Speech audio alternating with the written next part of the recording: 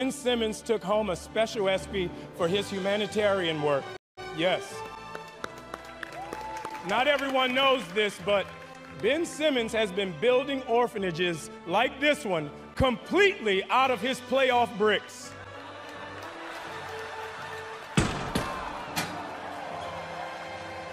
What do you like to say, little ladies?